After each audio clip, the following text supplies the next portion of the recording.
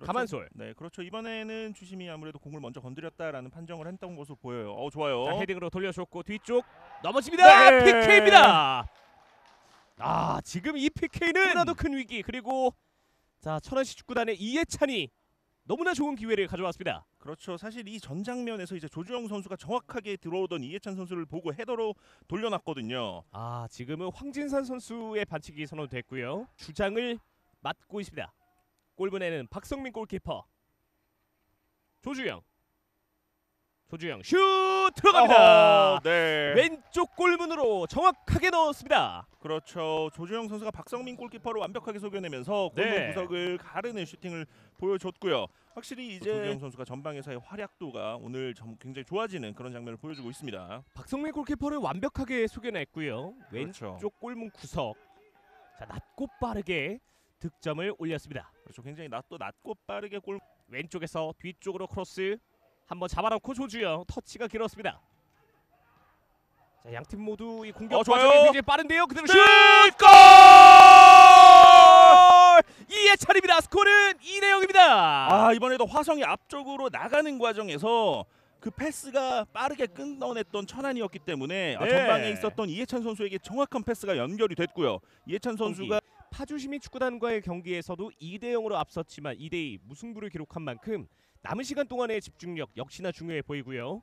이해찬 선수의 스텝과 그리고 그렇죠. 오른발 마무리 너무나도 네. 완벽했습니다. 그적인 부분에서는 큰 문제가 없을 것으로 보이고요. 일단 왼쪽에서 달려가는 네. 조주영 빠져나옵니다. 뒤쪽 어, 좋아요. 박스 안쪽 오른발 슛! 골! 골 천안시 축구단 3대 0입니다. 네, 조주영 선수가 측면에서 굉장히 좋은 공간에 있었던 정준하 선수에게 잘 연결해줬고요. 아, 이 박스 안에서 오늘 천안시 축구단의 수비 집중력이 굉장히 좋고요. 그렇죠. 그리고 이 득점 장면에서의 이제 정준하 선수의 이 정말 침착한 슈팅까지도 아 너무나도 좋은 장면을 만들어냈던 천안입니다. 자 화성 FC의 수비진이 올릴 필요가 있겠고 아, 자, 이강욱이 네. 좋은 터치로 접어놨습니다. 중앙 쪽 연결. 자, 최영우. 최영우!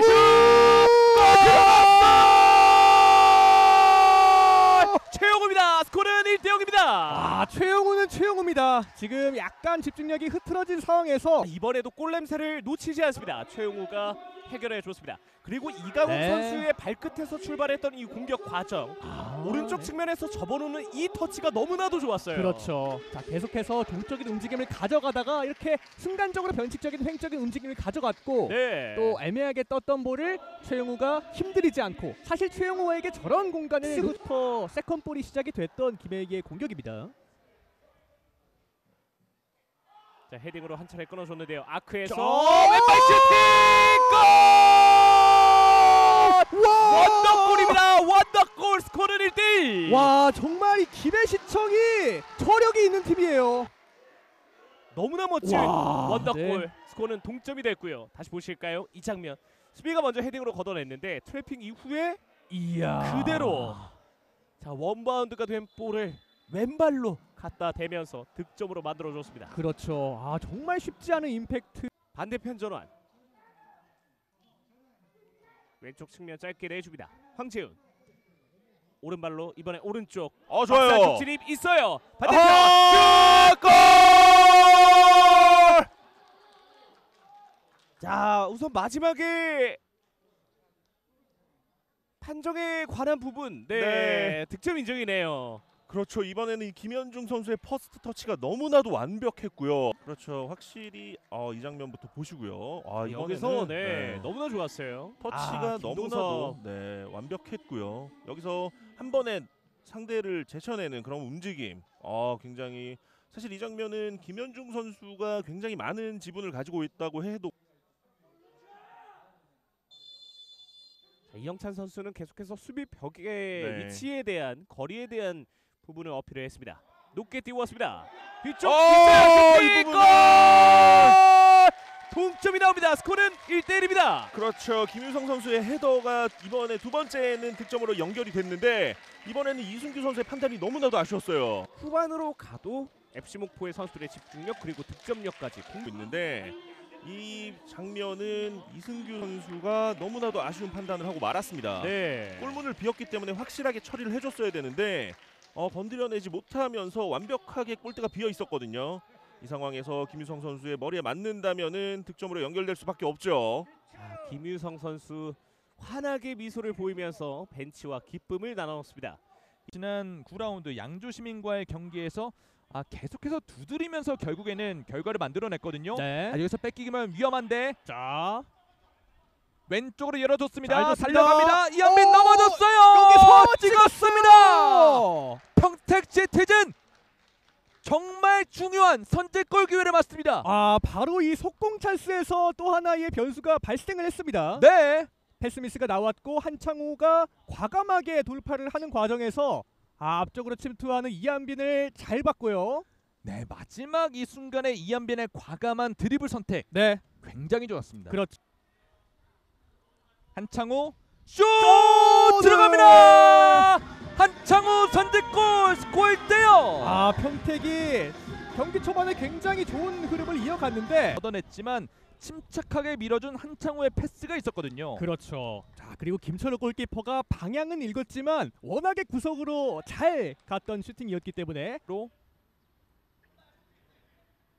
선수들 계속해서 볼 터치하면서 천천히 올라가고 있습니다. 현승윤 뒤쪽으로 잘 풀어 나왔어요. 네 반대편 자, 전환 한 번에 찍어줬어요.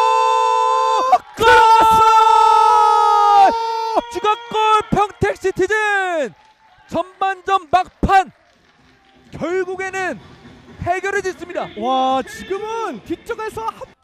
팀의 두 번째 골을 만들어냈습니다. 그렇죠. 자, 이 과정에서 박지훈 선수의 패스였어요. 네. 그리고 정확히 최민수의 오른발에 배달이 됐고 사실 이것을 원터치로 해결하기가 쉽지 않은 상황이었는데 그렇죠. 잘 갖다 대면서 또 평택의 두 번째 골을 선사합니다.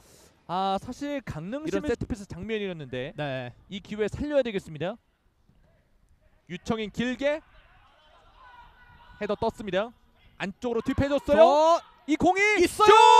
골! 따라가는 득점 강릉 시민 축구다. 자, 지금은 세컨볼 상황에서 순간적으로 평택 시티즌 수비진들의 집중력이 흐려졌습니다. 네, 째 득점 그리고 이 필드 플레이어가 첫 번째로 네 드디어 필드골을 만들어냈습니다. 그렇죠. 아, 물론 이 코너킥으로부터 시작되긴 했습니다만 2차적인 네. 그런 움직임에서 골이 터졌다고 볼 수가 있거든요. 그렇죠. 집중력이 놓치지 않고 있었던 이 강릉 시민축구단 권승리가 일단 뭐 걷어냈고 다시 한번 오른쪽 연결 백승호 김대엽 자 왼발 각도 한 명을 제쳐냈습니다 오른발 크로스 낮게 갑니다 어, 뒤쪽 흘렀습니다 자 일단? 넘어졌는데 어, 네. 반칙이 나왔습니다 아 이거는 허건 선수가 트래핑에 대한 실수가 발생했고 이 second ball에 대한 싸움을 결국에는 윤민호가 먼저 가져가면서 아 허건 선수가 사실은 좀 머리를 저렇게 쥐어 할 좀 아쉬운. 그리고 키커는 김대엽입니다 자 김대엽, 왼발 골! 들어갑니다 선취골 뽑아냅니다 김포FC 네 김대엽 선수가 정말 침착하게 본인의 날카로운 왼발을 활용해서 김덕수 골키퍼를 무너뜨렸고 오늘 경기를 준비했던 이 고정훈 감독의 플랜 A 하지만 먹혀들지 않았고 결국에는 어, 페널티킥을 얻어내면서 리드를 가져갔다는 점은 어느 정도 좀 고무적일 것 같아요 그렇죠 됩니다. 네. 지금 선수들이 좀 흔들리고 있기 때문에 좀 독려를 할 필요가 있겠어요. 이번에도 가까운 쪽. 아우. 어? 야, 지금은 페널티킥 선언이 된 것 같습니다. 네, 휘슬이 울렸습니다. 밀었다는 판정이죠. 네. 때문에 자, 판정이 궁금했었는데 다시 한번 보시죠. 아, 잡으면서 민 모습인가요? 네, 민훈기 선수가 파... 정민우 정민우 슛 들어갔습니다. 선제골 대전 한국철도 축구단 스코어 1대0. 자, 다시 한번 보시죠. 살금살금 때리다가 왼쪽 구석을 정확하게 찔러 넣었습니다. 지금 뭐 골키퍼가 손을 쓸 수가 없는 뭐 방향도 잡았고 손도 잘 뻗었거든요. 네. 그러니까 될 수도 있거든요. 그렇죠. 코너킥 띄워줬습니다. 펀칭 아직 있습니다. 뒤쪽으로 슛! 동점골! 울산 시민 축구단 스코어 1대1 동점을 만드네요. 여기서 지금은 수비 상황에서 쥐가 났을 때 분명 부족한 상황이었죠. 그렇죠. 아 지금은 폴 선수가 공을 잘 따냈다 봐야 될 것 같아요. 네. 여기서 자 지금은 교체 들은 김태훈 선수군요. 아 김태훈 선수가 득점을 만들어냈습니다. 자, 코너킥 이어집니다. 자, 손민우 올렸어요.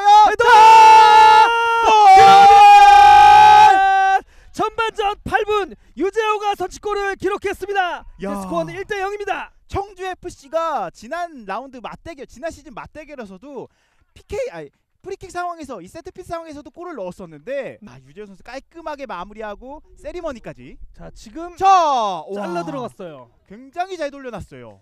자 유재호 선수가 베베토 세레머니죠. 어, 뭐 좋은 네. 소식이 있- 있는 것 같아요. 네, 그래 저도 그런 것 같아서. 네. 네.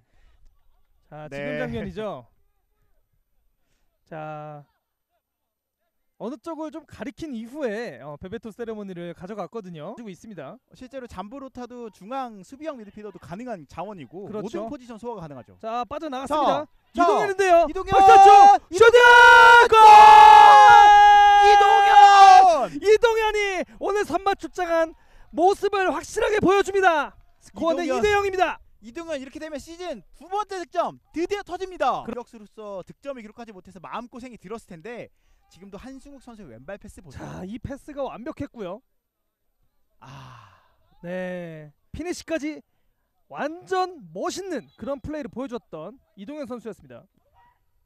자, 이재승, 어 연결됐습니다. 중앙인데요. 자, 오른쪽 빼줬고요. 열렸어요. 이번엔 강영종, 강영종이 오른쪽에서 그렇습니다. 자, 수비가 헤더. 슛! 우와! 어떤 우와! 골이 들어갑니다. 자, 한승욱 선수의 골인데요. 슈팅 보여줍니다. 자, 왜? 이거 사실 등번호 안 봤는데 네. 이거 한승욱이겠다 생각을 했었거든요. 자, 지금 하이라이트 필름이 하나 더 정립이 됐거든요. 야, cannon shooter예요. 지금 보세요. 왼발 완벽하게. 카메라가 따라가기 힘든 스피드로 넣었어요. 자, 멋진 골이 터졌습니다. 자, 이렇게 되면 한승욱 선수의 추가 골이 터지면서 스코어 3대 0으로 청주 FC가 앞서갑니다. 점을 기록하면서 한 골 더 달아나면서 이제는 이제는 양주시민 입장에서는 아 약간은 돌려놨고요. 자, 지금도 수비가 패스의 길을 차단을 했습니다. 어, 확실히 지금도 어. 뒷공간 빠른 패스. 어! 야 이거 자, 이동현의 multi골이 터졌습니다. 스코어는 4대 0. 자 지금도 이동현 선수의 완벽한 line breaking이 나왔어요. 그렇죠.